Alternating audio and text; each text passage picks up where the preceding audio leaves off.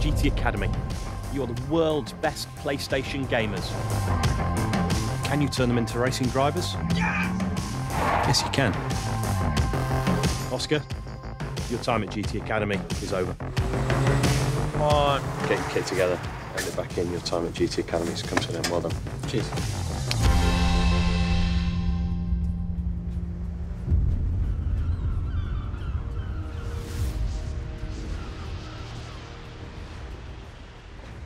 Morning, Bradley.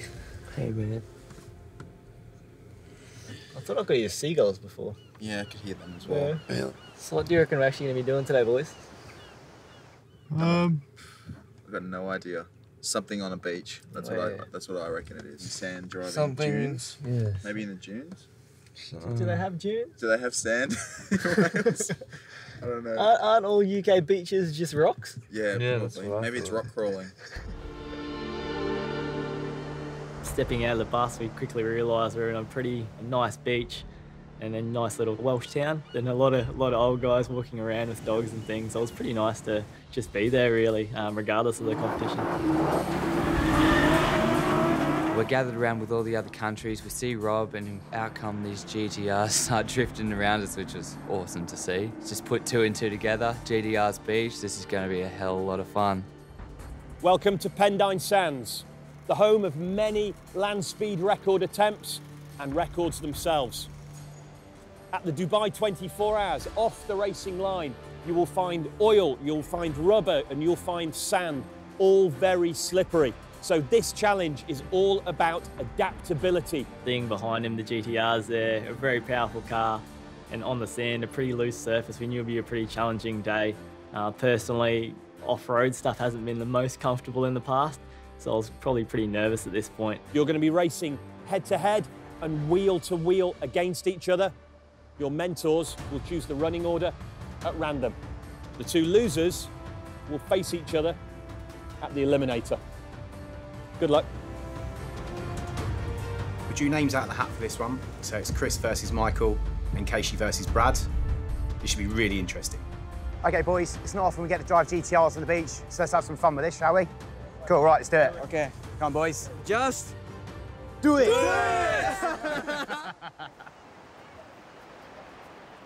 When it comes to Michael, I think while in the car we're all pretty serious. He's definitely, I think, it's in it for himself um, a little bit more than the rest of us. Uh, maybe it's just being that little bit younger. Doesn't have the life experience there to realise that while this is a competition, um, life goes on outside that. I've driven on a farm, but nothing like this, no. Growing up a farm was brilliant. It had all this open space we could use, always use a quad runner. You just could do anything. As soon as we finished school, I went out, got a loan, bought a go-kart straight away. Tracy Stewart was my go-karting mentor, and he has been absolutely monumental in my preparation coming to this. Six to 12 months ago, when I was a, when I was still racing go-karts, I, I thought I was king of the world. You know, I thought I couldn't be beaten. I've looked back on it and said, you know, I was a bit full of myself back then, and, and that hurt me as a driver, and I, I didn't improve. I sort of got to a level and then didn't get any better, and and it's only been from when I've spoken to him since, and and and he's told me about what I did wrong, and that I've been able to, to get better. I think Michael goes off by himself because I think that's the way that he can deal with uh, the pressure. He can deal with uh, the challenge that's coming up, and so far that's actually worked for him. It probably doesn't matter to him too much whether he, he needs to be as close to his teammates because he's racing for himself really. GTR's on the beach. Can't get much better than that. Absolutely. Chris versus Michael in this race. They're our fastest two drivers. I think this is going to be the closest one. We've got Chris in lane one, closest to us, and Michael in lane two, closest to the ocean. Clean start's essential. Too much wheel spin off the start, that will cost them. Nah, Chris got start, good, good start. Really good start.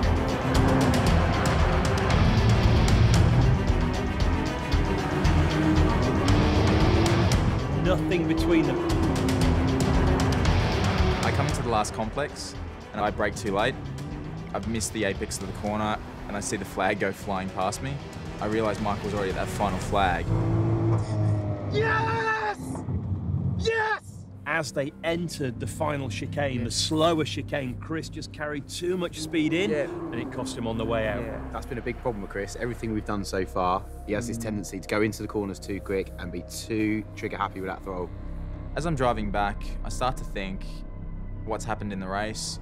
I know I've made a mistake and I can't change that, but what I can change is what's going to happen in the future. I feel relieved that, that, that I won't be in the eliminator tomorrow. Um, so you're proud of myself that I was able to pull it together.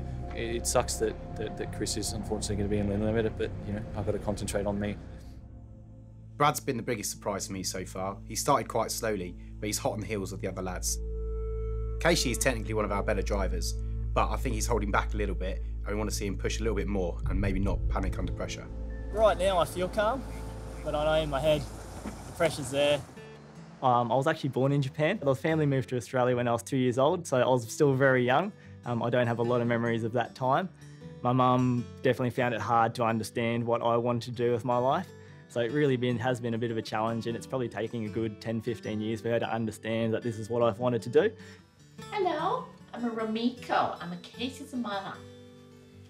I hope he will enjoy his experience and come back intact, please.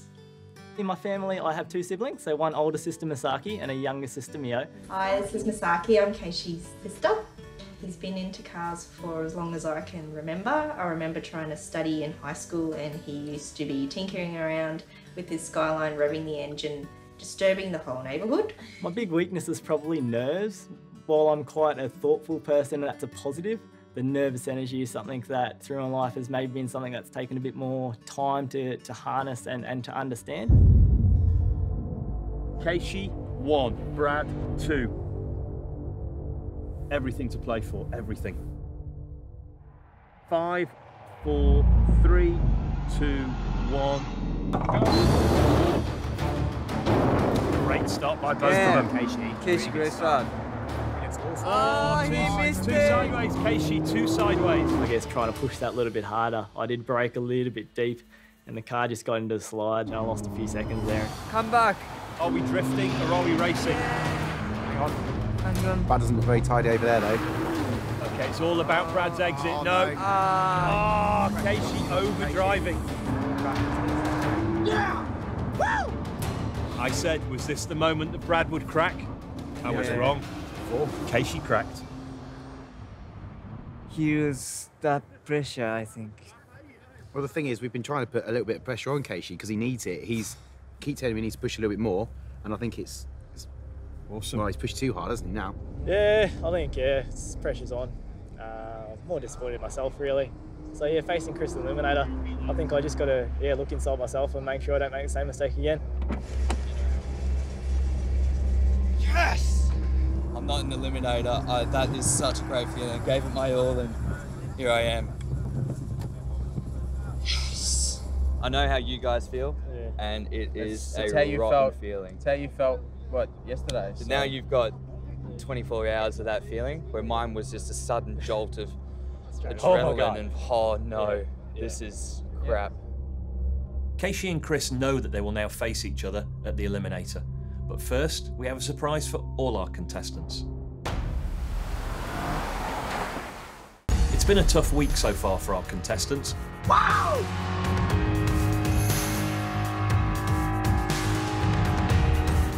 But now they can relax a little and have some fun. They're off to the circus.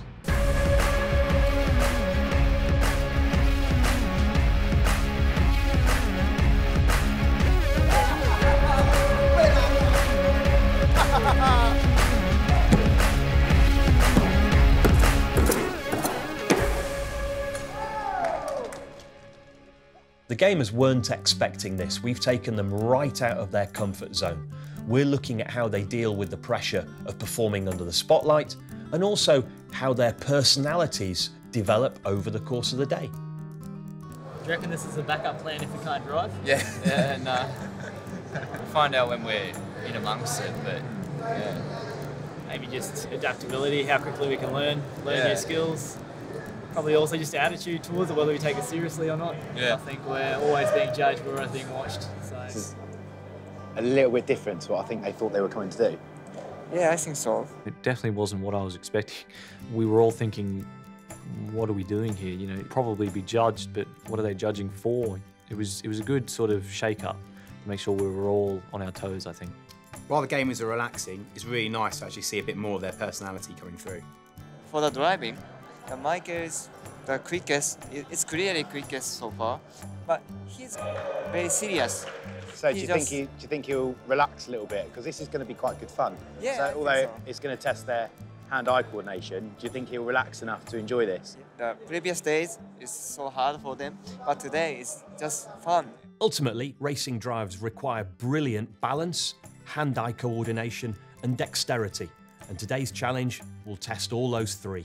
Right, Gio. Yeah. Enough of the serious stuff. I got you something. Thank you. no, no, no.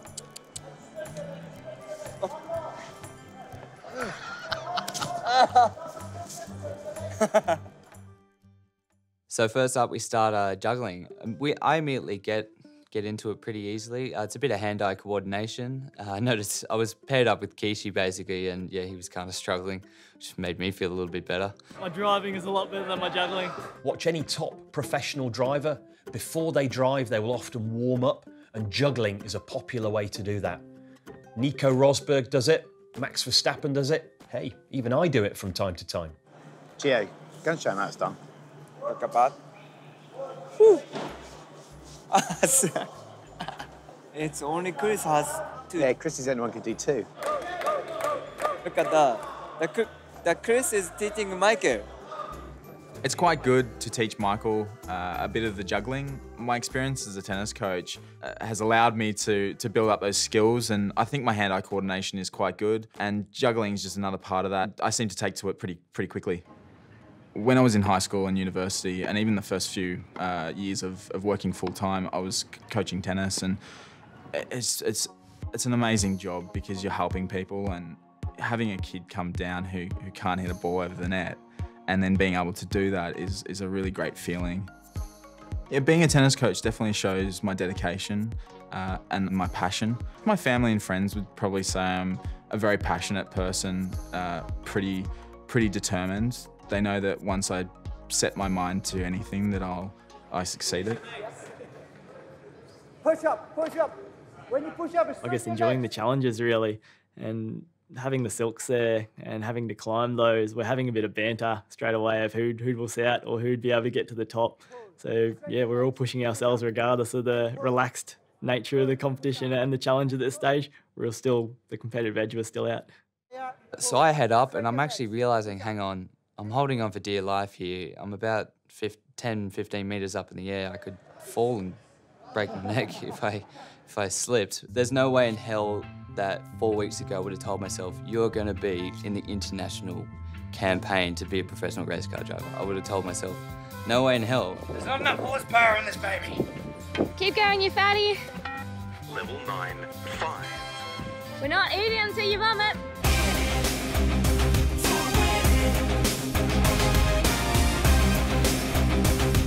It's good to see the boys not being serious all the time. Yeah, they are having fun and they are doing well. So I think they are all four very good. Yeah. They're all smiling, they're all happy. Good job, boys. Yeah, maybe only the Michael was the scared, scared the, the, on the high place. Yeah, everyone else, shut up. he do he do the quickly and quickly back.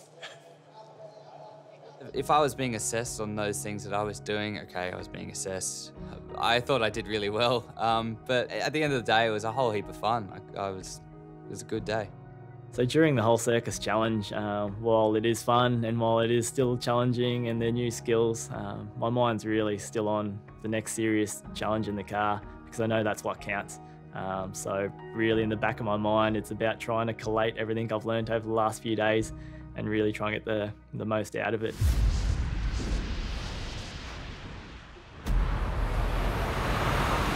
So good morning. How are you sleep? Yeah, good sleep. Yeah, slept well. Pretty good. Yeah. Are you getting nervous a little bit? Yeah, I think a little bit nervous. Um, definitely a little bit yeah, nervous. the next one is the elimination challenge for you guys. So, but you know, just this is the, the big challenge. I hope you can do your best. You boys drive the GTR, the truck, is a big power and um, heavy front and wheel four wheel drive. So I think the straight line is so fast, but on the corner it's easy to make an understeer. Uh, so as I'm on the bus with Chio and Chris, it's just um, Chio taking us through, I guess, a few more finer points of the track and just explaining the challenge a little bit in a little bit more detail. Because there's more power, the braking is going to have to be heavier. Yes. And I guess the more weight you put on the front end, the more it's want to gonna it's going to want to understeer. Knowing I'm racing Chris already, um, I'm feeling pretty nervous in one sense because I know he's very quick, uh, but at the same time, I'm looking into myself and I I know personally that I've got the speed there. I, I just can't afford to make a mistake. I bet the guys are feeling really nervous. I know exactly how, what they're going through. Uh, just been watching them for the past couple of hours and they've been lying on their beds, uh, just thinking about the race that's coming up. But yeah, they're just trying to think about not making a mistake and hopefully, hopefully they're not overthinking it because if they do, then that's what's going to happen. They'll make a mistake. And focusing my energy on things that I'm doing at the present time is a far better way than thinking about the challenge that's going to come up and, and even thinking about what happened that put me into this eliminator. I think I've processed what actually happened and I know what I did wrong. I'm going to make sure that I don't do it again.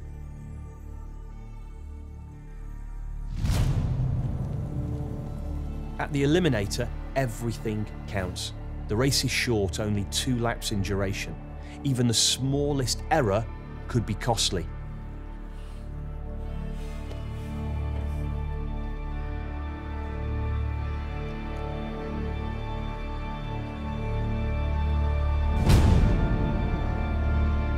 Keishi, Chris, as we know, you lost at Pendine Sands, so you find yourself here, back at the Eliminator. Driving Nissan GTRs once again, but this time in a straight fight for survival. Give it everything you have. There is no second chance. Do your best. Remember, guys, the last one over the line leaves us. Go and get ready. Good luck. The whole week's flashing before me at this stage, um, knowing all the challenges that we've already done and, and just looking at and trying to replay all the advice I've got from the coaches up to this point. Um, so just trying to stay calm, but at the same time, making sure I've got all those bits in my head in the right place. Keishi's a very strong competitor. To beat him is definitely going to take good driving, consistent driving, and not making any mistakes.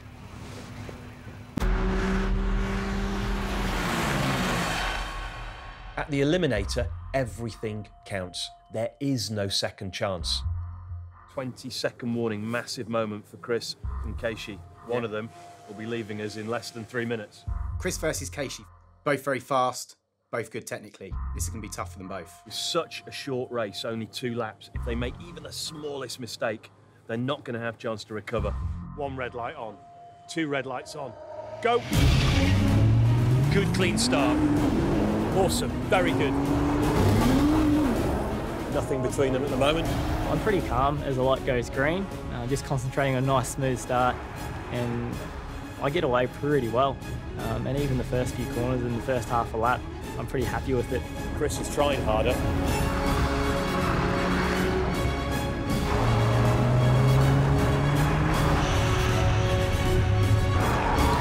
That's going to cost him as well.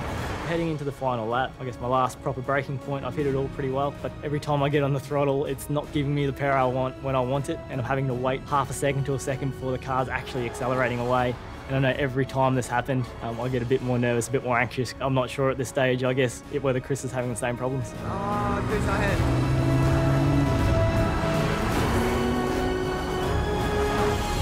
Chris really pushing hard, really pushing hard.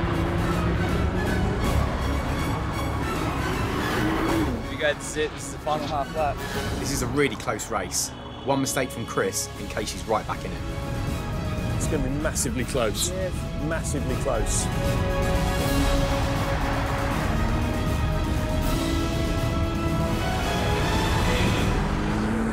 Chris by the finest of margins. As I'm crossing the line, I already know um, that I've lost the race. So on that cool down lap, really, it was a bit of a.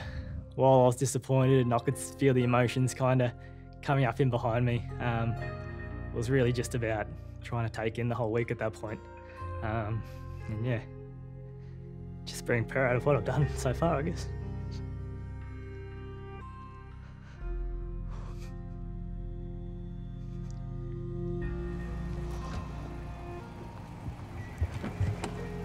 Eliminations are never easy.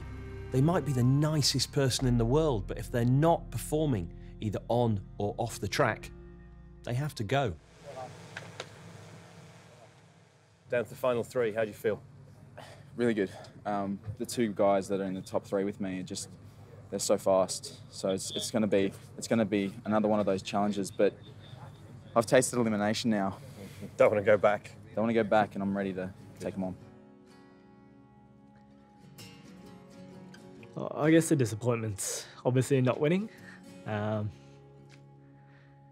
but yeah, just the, the amount of time it's taken. Um, I know I've pretty much done everything I could um, before arriving. Um, I knew it was just about doing everything I can, so I can't look back and go, okay, I wish I'd done this. Keisha. Yeah. Good job, mate. Getting out of the car um, and seeing Chio for the first time, um, I think we quick, quickly learned in this past week. Our, I guess, our start into motorsport was very similar. Um, his parents didn't really support or understand what he wanted to do, and I was very much the same. And I think, yeah, straight away, him when we kind of looked at each other, um, we both kind of got a bit emotional at that point because he knew how much I wanted it. And I think, yeah, our struggles were, were very similar um, in the beginning, anyway. Well, you did a really great job, mate. Thanks, man. Yeah. Sorry, man. It's uh, your journey is just finished now. So, all but yeah, that was I think great memory. Yeah, for you. definitely. No, Chris is a fast driver. Yeah, you know, everybody likes you, uh, your personality, and you push really hard and uh, uh, until this race camp. I, I, I saw everything you did. I think uh, it's make you strong, make you stronger, and yeah, yeah, keep growing, keep growing, keep pushing. Yeah. I'm definitely not going to give up. I think if I gave up now, um, yeah, I don't think I'd forgive myself, I guess, looking back on it. Um, so, yeah, this isn't the end.